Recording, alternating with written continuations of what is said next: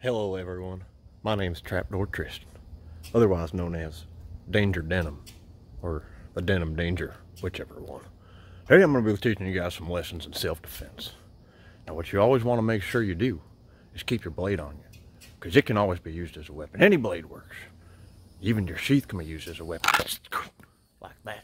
See how I just flung it off like that direction? That's a distraction. What you don't want to do is bring a knife to a gunfight, in which case you're pretty much done for, unless you got yourself one of these. Now, if you bring yourself one of these ninja swords into a battle against a gun, you could deflect the bullet and move in for the kill. But there's a lot of possibilities involved. You see, I might even decide to come in akimbo like this, you see? Damn, I hit myself hard. Ah, man. Might be good check for a concussion on this one. Commonly devised practices in self-defense that you might want to take into account is the old belt here. This thing will whip you good.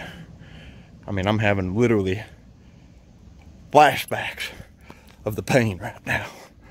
I, I'm gonna reveal to you guys another tip that a lot of folks don't know.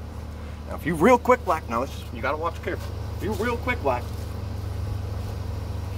yeah, take your watch off you. Mean, you can put somebody right down. If you got a metal watch, right to the jugular, could even be lethal. I don't know.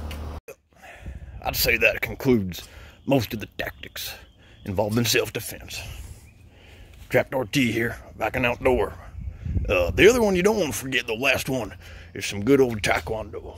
Right to the clavicle, I mean, there's no defense against that.